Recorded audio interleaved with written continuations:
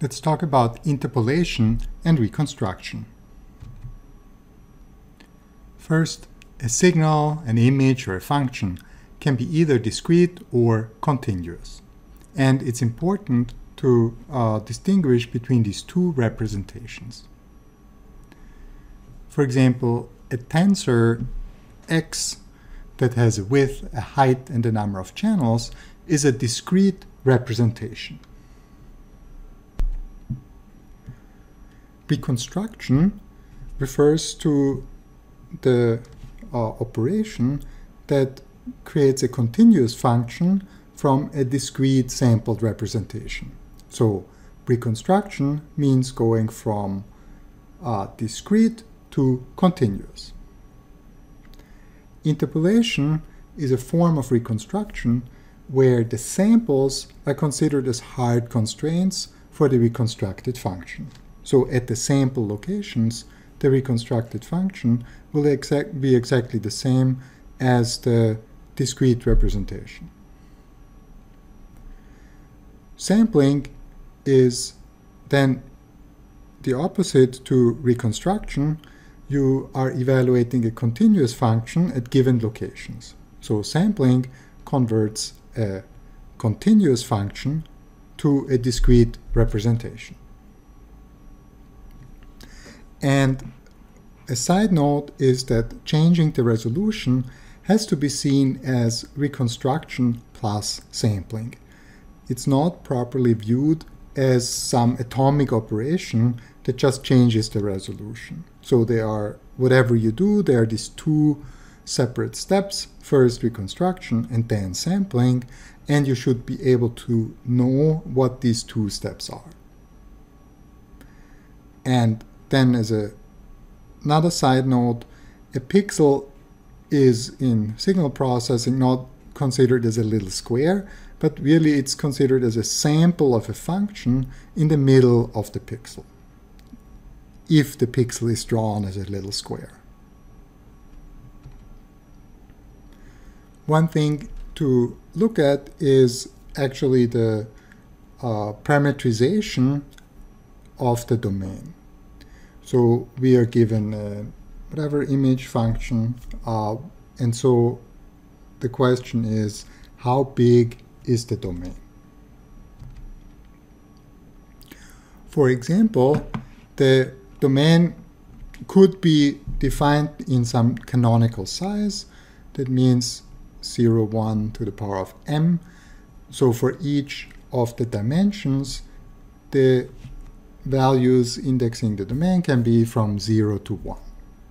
So what we see here is an image that has been parameterized from 0, 0 to 1, 1, so that the lower left corner is 0, 0, and the upper right corner is 1, 1. And the pixels are now somewhere inside this domain. Typically, the spacing between the pixels is constant and the spacing this is another choice. If from a pixel the, the last pixel to the boundary would be half of the spacing between two pixels. Again this is a choice that can be changed but for this 2 by 2 image these would be the pixel coordinates. So the lower left pixel would have pixel coordinates 0 0.25 0 0.25 and the top left one would have pixel coordinates 0 0.25, 0 0.75. Another parameterization might try to put the pixels lo pixel locations at integer coordinates. So maybe here the first pixel has coordinates 1, 1, the next one then has 2, 1, and going up 1 would be 2, 2. Then um, the question is the boundary, again having the same idea that the spacing from a pixel to the boundary is half of the spacing between two pixels. The lower left boundary of the image would be 0 0.5, 0 0.5. And the upper right would be 2.5, 2.5. We already see there will be some trade-offs involved and it's typically not possible to have everything nice. So uh, whatever design choices you make, some uh, things, either pixel coordinates or the boundary coordinates or something might end up being a bit ugly. So again, so here are some design choices. Should the domain boundary or the sample coordinates have integer locations? Are the samples in the center, at the corner, or at the corner of the grid? So we'll uh, see a counterexample in the next, uh, in a different example in the next slide to what we've seen before. So uh, let's maybe look at that. So here the samples are at the corner. So here we see a 3 by 3 image inside of the domain of size 0, 0 to 2, 2. So now let's think about these two choices. Let's say the samples are in the center of, of the grid cells.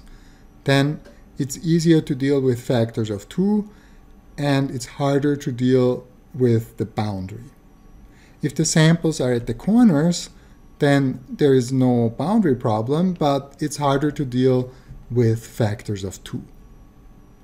Now, these are some design choices. There are many different uh, versions in practice, and whatever software you use, it is important that you first check what type of conventions your software is actually using. Or it can change code uh, bases to code bases. You might have to check what a particular software that you download, what convention it's using. So now let's discuss multivariate functions since we are basically dealing with multivariate functions. So assume we choose the option to have a simple domain. So um, we are dealing with a function. Let's look at this f and f is from 0, 1 to the power of m, so that means how many dimensions the input domain has. Uh, and then we map that to r to the power of n. So m is how many input dimensions do we have, and n is how many output dimensions do we have. So let's assume we have a function given as a tensor x. And so the tensor x represents this function from with n m-dimensional inputs and n-dimensional outputs. And if we now want to compute interpolation, so we want to interpolate this function f, then we also need to have a query point that tells us where we would like to interp basically where we would like to query this interpolated function. And then as output, we get this n-dimensional vector. And now what I give you is this tensor x, and I give you the tensor x in this form width times height times the number of channels. And now there's a correct interpretation of this as a function and there's an incorrect interpretation. So, of course, that depends on the context. For now, we have these image networks with, um, with, with basically a spatial resolution width times height and the number of channels c.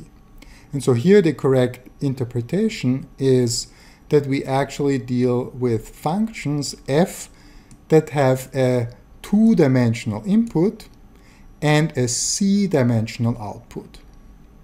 So the domain is two-dimensional and the output is c-dimensional. So going back to this formulation, that means m is 2 and n is capital C. Therefore, we also say that we need to perform C-independent 2D interpolation steps because we deal with functions that have two-dimensional input. So the incorrect interpretation would be to say, well, this is actually a volume.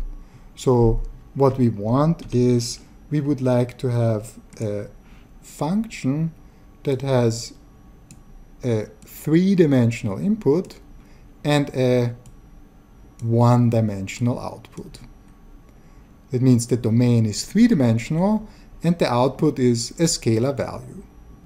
And this is not really correct because the channels are not really ordered and we do not want to interpolate between channels. Let's say you interpolate between the second and the third channel.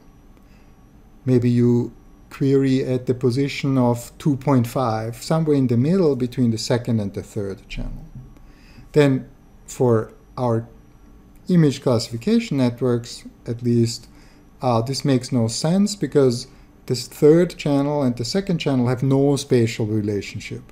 You might as well switch the second with the 117th channel. And of course, you need to shuffle some weights, but there's no relationship between neighboring channels. It's just uh, completely random.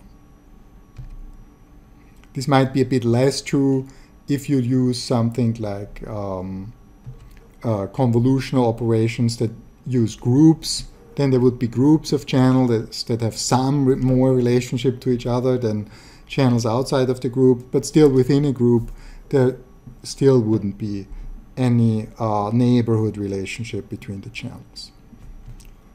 So now an example setup is we have this tensor x, again we have width times height times c.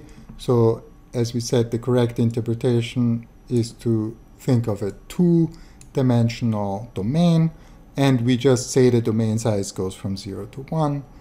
And uh, we also make the choice that the sample locations touch the domain boundary.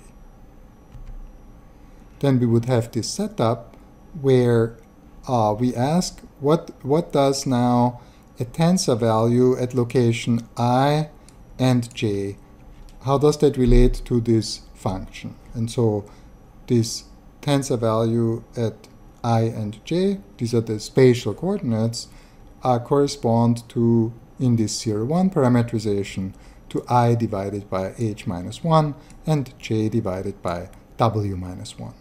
Again, you also get this touching the boundary. So let's just pick uh, 0 for i, then we would get 0 divided by something is 0. And if we took, pick the highest uh, thing, then we pick h minus 1. So i goes up to h minus 1. So we'd get h minus 1 divided by h minus 1. So this would be 1. So that means the first pixel would have this would, would have a coordinate uh, that gives 0 here, and the last one would give a 1 here. That means that, as we said, the sample locations touch the boundary because the 0 and the 1 is achieved here. And uh, for j, we have the same thing. So the interpolation problem would be now to determine the function values for arbitrary locations f u v. Maybe u could be something like uh, 0 0.117 right this writing 635 right? And I want to I want to have this for u and v is something else. Okay what's what's going to be the function value? All right so that's the interpolation. So uh, we're going to look at nearest neighbor interpolation and we'll just do nearest neighbor interpolation between two points in 1D. The input is a tensor x uh, that's an element of r to the power of 2 cross c. That means we have uh, two spatial samples and um, each spatial sample has c values. So meaning that each spatial sample is a vector that has c dimensions. Using this notation that means the uh, first vector is x0 and then the second coordinate can go from 0 to c minus 1. So for example, if c would be 4, then this one here would be a vector that has four entries. This would be x00, x01, x02, and x03. And then same for this, this would also be a vector x10, and so on and so forth with four entries.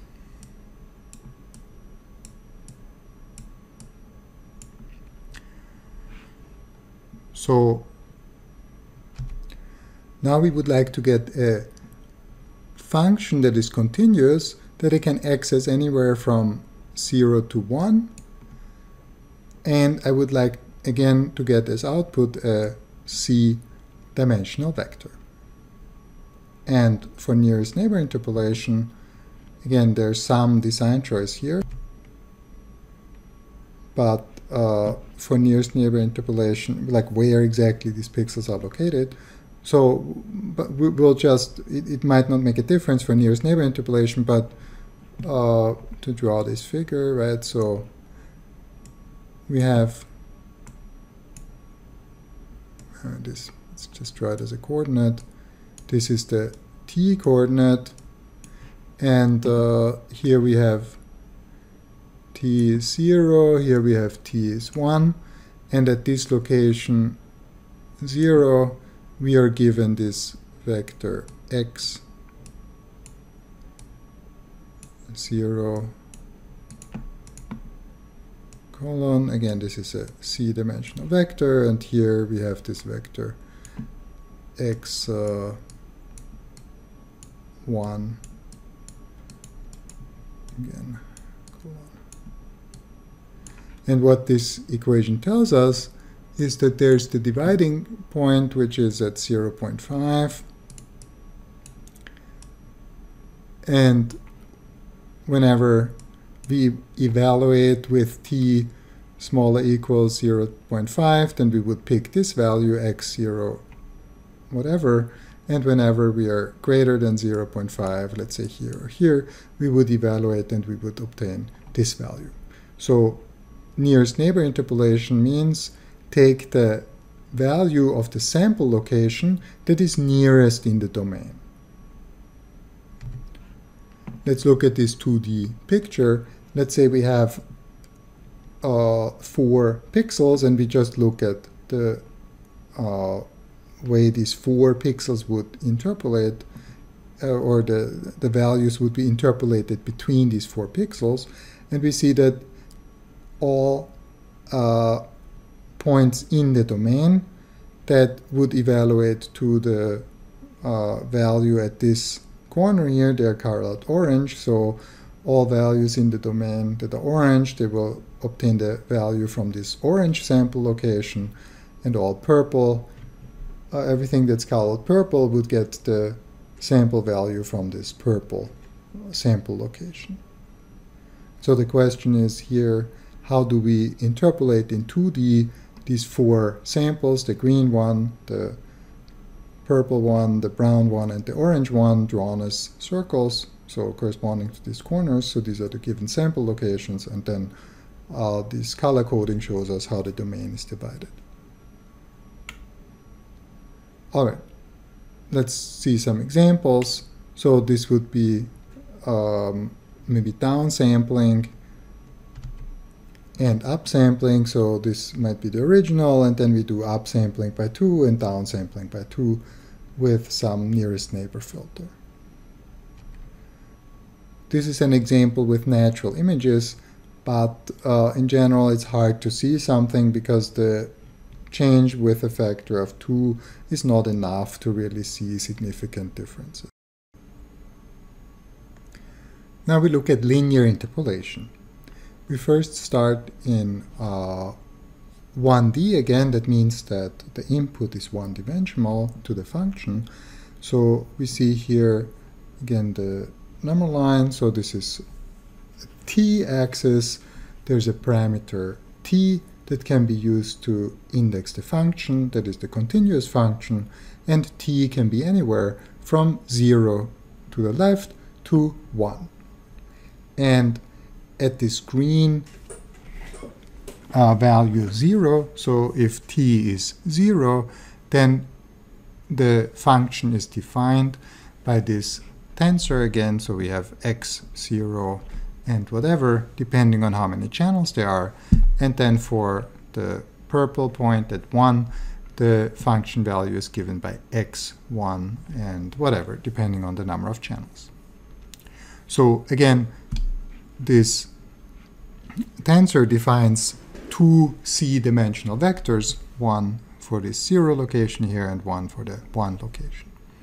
And uh, now for any value t in between 0 and 1, the output f of t, that is the continuous uh, function f, is given by 1 minus t times the green value plus t times the purple value.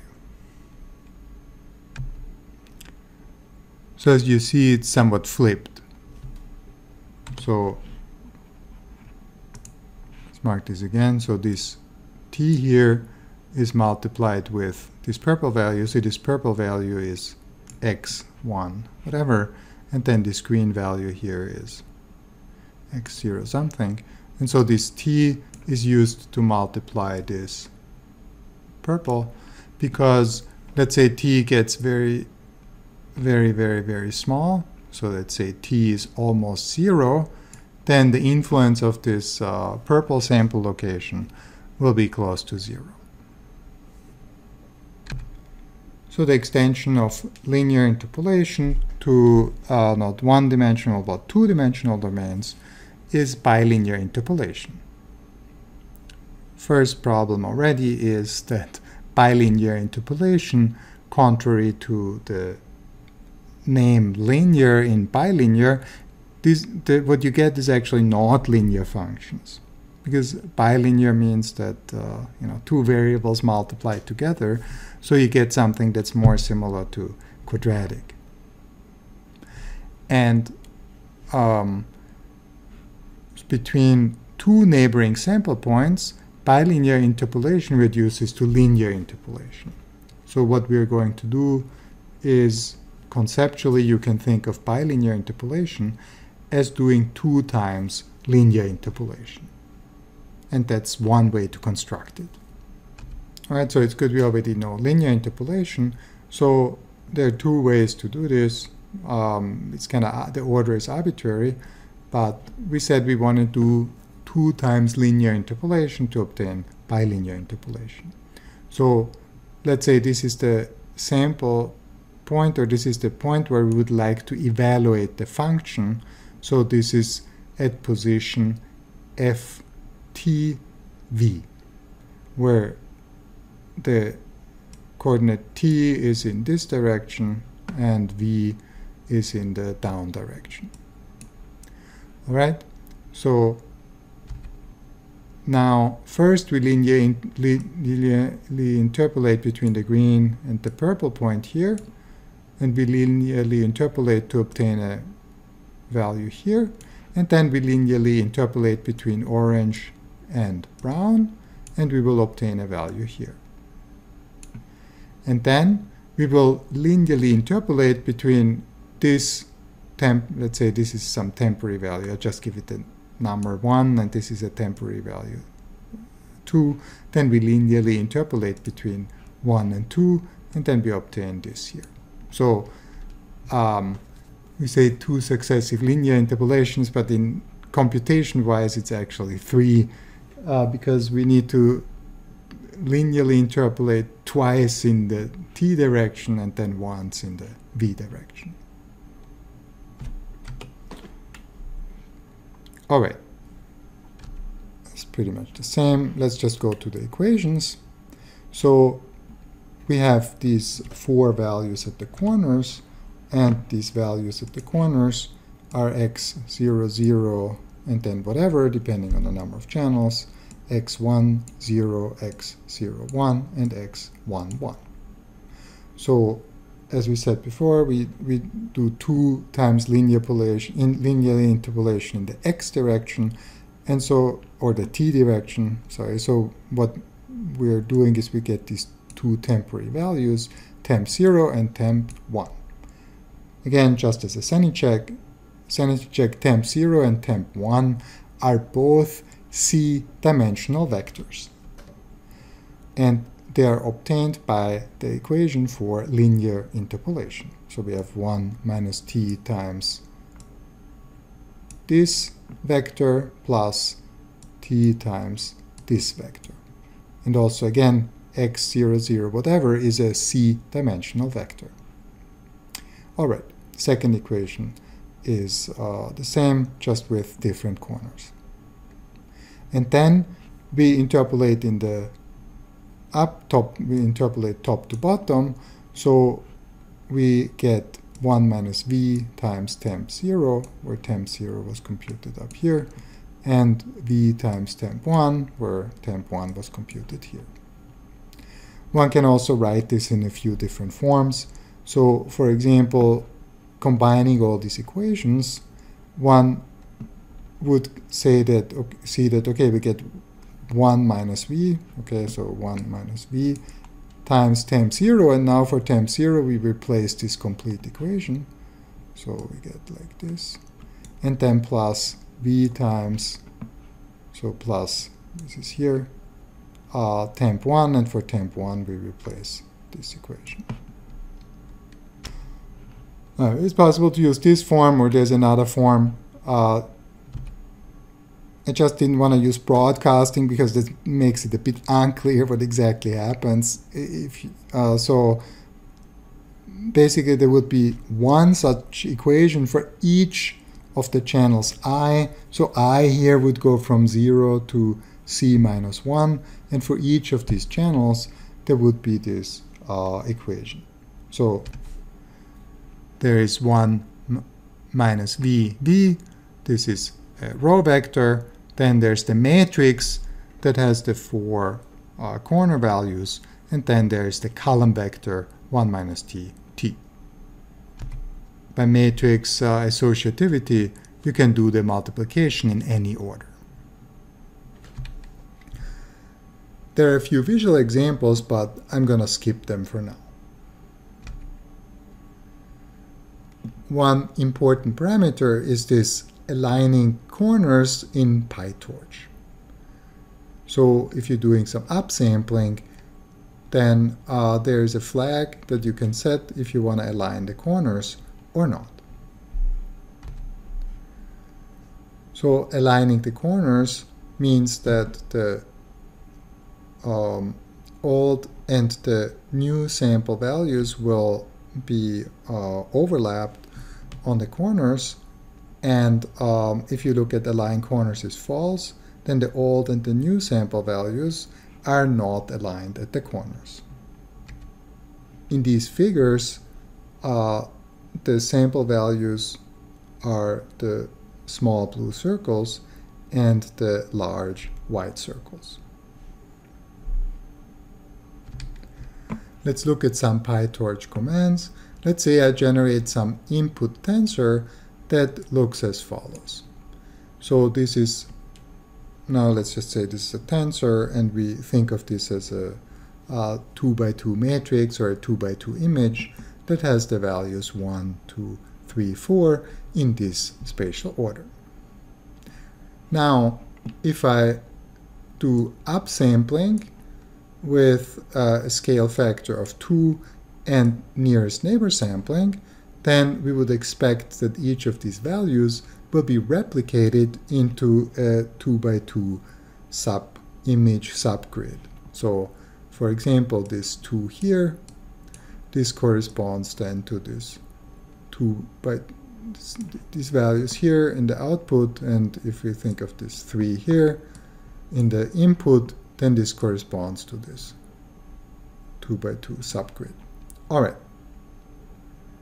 so now let's look at something uh, trickier. We are going to do upsampling with a factor of 2 and we're doing bilinear and this has uh, aligning corners is false. So um, again the input is this 2 by 2 matrix with the values 1, 2, 3, 4. But now, if we look at the output, we want to just see how do the values get interpolated between 1 and 2, and then we look at the first row of the output. So we get 1, 1.25, 1.75, and 2. Okay, first complaint, if we look at the spacing between the values, this seems to be a bit off. So between here and here, we have a spacing of 0 0.25. And uh, between here and here, there's a spacing of 0 0.5.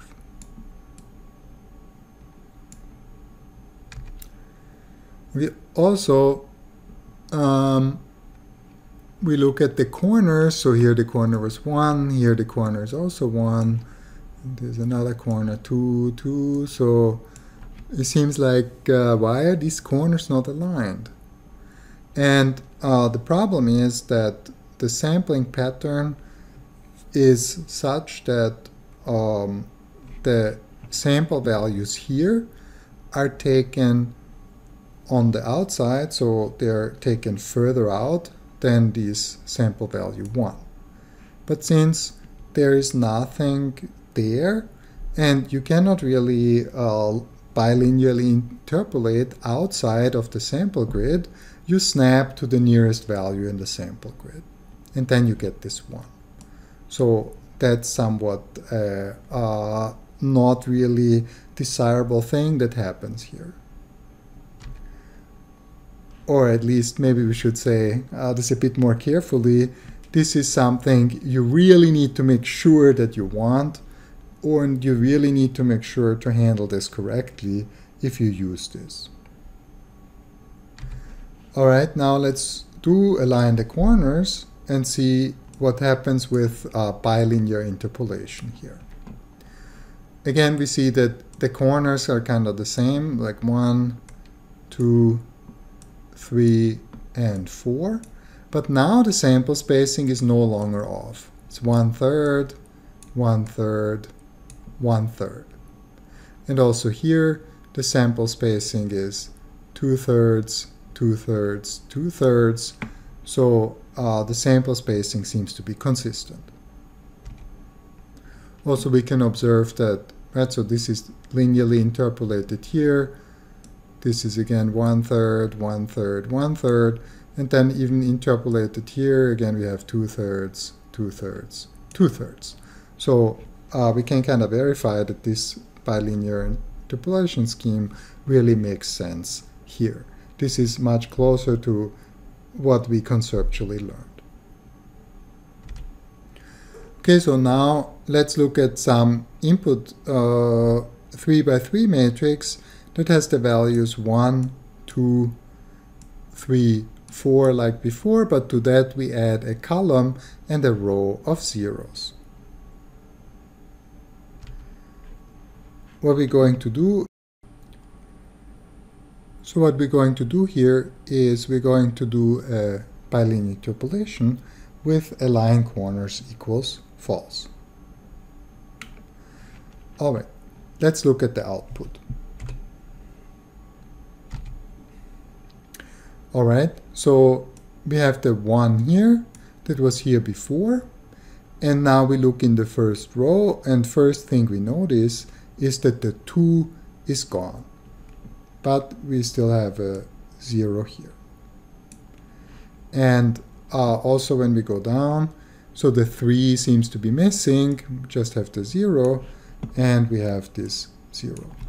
So what we see is that these locations where the value was 2, 3, and 4, they were not hit by any sample here.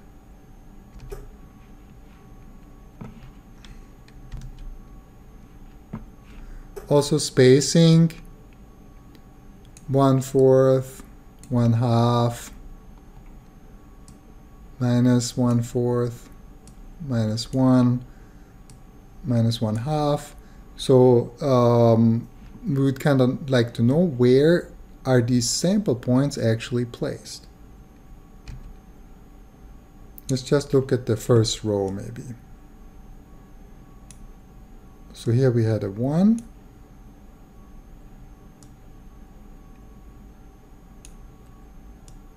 We have a 2.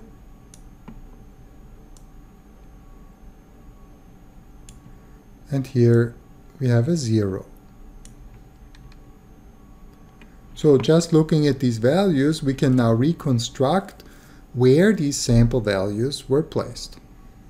And the old sample values I draw with these dots, and the new I will draw with X's. Alright, so 1.25 has to be placed here so that it's uh, dividing the space between 1 and 2 into 4 quarters, and that's at the first quarter. Then this 1.75 is placed here. So um, basically the pixel spacing here is uh, one half, right? So here the pixel spacing is one. So then we draw again two and zero is also placed, is also divided into four quarters. This is at the one quarter, this is at the three quarter mark. And now we have uh, four values, but we need six. And so the trick is that there will be another one with sample spacing know, between here and here is going to be one half. There will another sample tap here. All right, so so this x here corresponds to this zero.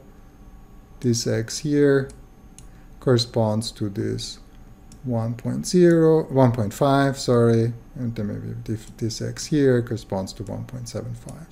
And again, what is the big problem? The big problem is this x here that's basically placed at um, the location to the left of this input point and it cannot do linear interpolation out here so it snaps to the 1 location and it gets this value 1. By contrast we can do align corners is true and so what we can see here is that um, we still have this 1 here and this 0 here, but the interpolation pattern will be different. And similar to before, you can calculate where the sample new sample values were placed. And so since the line corners is true, if we are starting again with one sample, two samples, three samples, here the value is 1, here the value is 2, and here the value is 0, then now all these four will be equally spaced. The new sample taps will be equally spaced between as well since align corners is true there will be x's perfectly aligned with the boundary.